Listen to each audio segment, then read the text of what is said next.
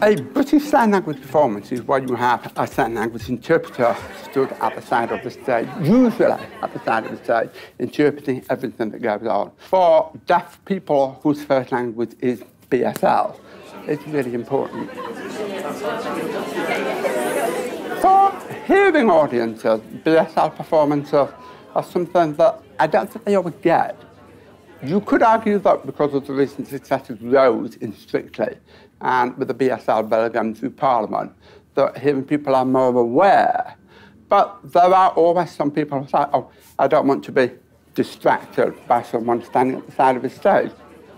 I always hope that at any sign performances that hearing people will actually watch and think, wow, sign language is beautiful.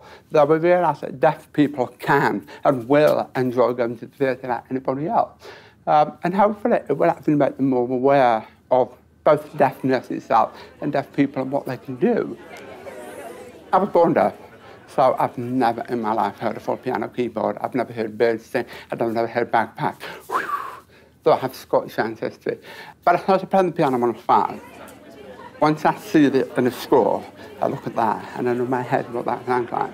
So when I'm performing, when I'm standing the show, it's a case of looking at all that, memorising that, watching on stage previously, trying to remember what everybody is. And whatever you do, do it confidently.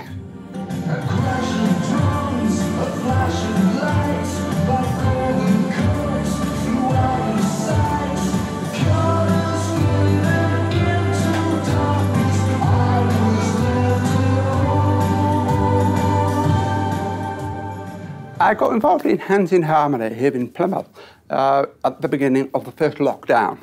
In 2019, there was a community project, which I think was based here at the Theatre Royal, and someone who was creating the project wanted some sign language involved.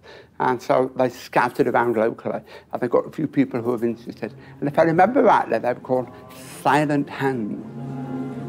It's a mixture of deaf people, hearing people. Some know sign language, some don't.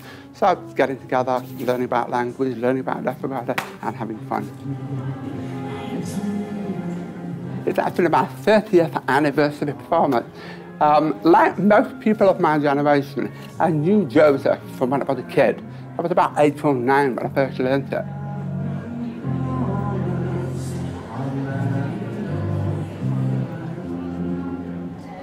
It all came about originally through Richard Stilgoe, uh, who of course wrote Starlight Express, The Prologue for Cat, and the original version of Phantom with Andrew. So, 17th of June 1992, that was my first ever sound performance, and it was the, the most famous, fabulous theatre in the UK, if not the world.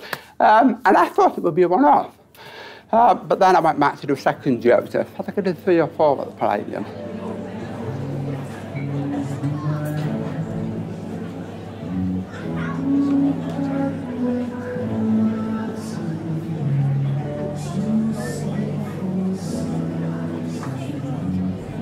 The theatre community generally is very accepting both of BSL performances and of deaf performers. Um, there is a slowly growing number of deaf actors. It's a collaborative process. And then it's to be understanding from both groups of people. There are lots of things that deaf people can bring to a performance. There are lots of things hearing people bring. Deaf people can do anything except hear. Um, and we all need to learn that we all have something about it that we might not like, particularly when we're young. But it's only when we accept it we overcome it. And that makes us part of who we are.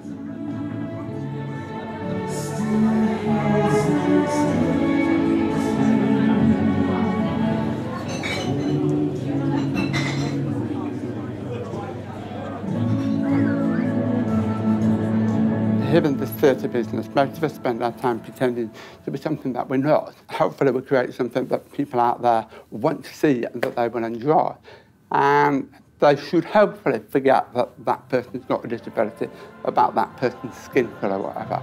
So that's my hope.